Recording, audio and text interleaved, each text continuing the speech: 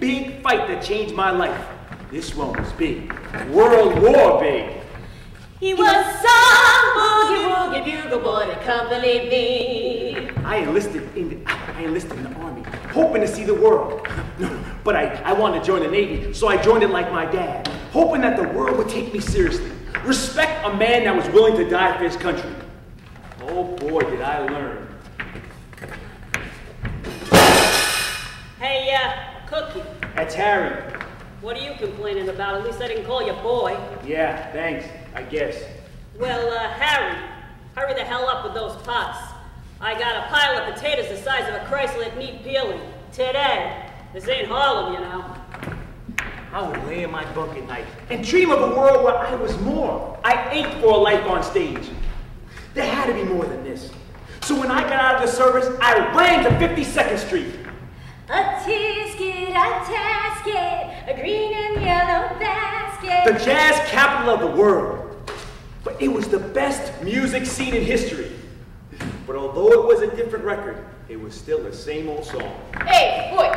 That's Harry. Yeah, whatever. Hurry up with those glasses. Last night you brought two, so we're taking two bits out of your pay.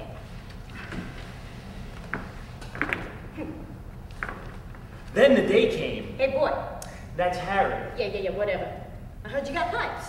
If you want to try out with the house band, I could pay you uh, five bits a night. Five bucks? Five bucks and no dishpan hands?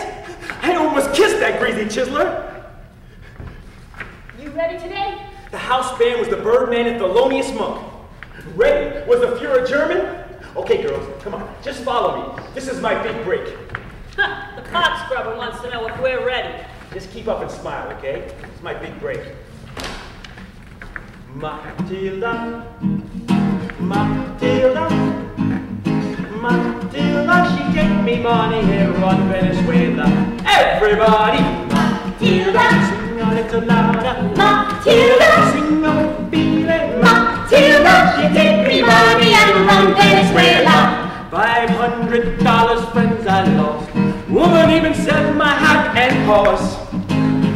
Matilda, she take me money and run Venezuela. Everybody, Matilda. sing a with feeling. Matilda. Sing little louder. Matilda, she take me money and run Venezuela. My money was stuck inside my bed. Under my pillow beneath me head. Oh, Matilda, she take me money and run Venezuela. Everybody! Matilda.